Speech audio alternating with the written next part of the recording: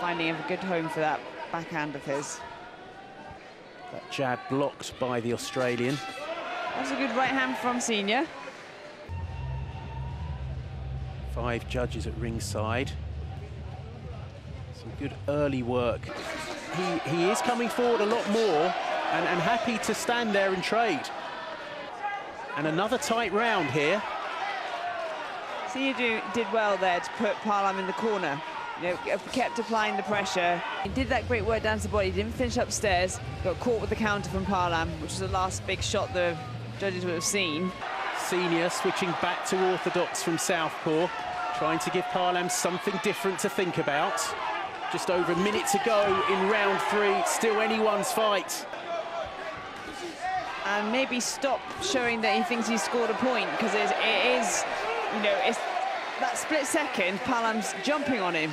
Another exchange, Senior with the last word in that one. Paalam perhaps having the better of these closing seconds. Not long to go now. Senior with a bit of showboating, winding up the right arm. Both think they've got it. Very, very close round, very exciting round. In blue from Australia. It's a medal for Australia in boxing at Paris 2024. Split decision. As I said, it was all square after two rounds. And that's our second backflip of the day from a victorious boxer. Charlie Senior giving the crowd something to enjoy. And you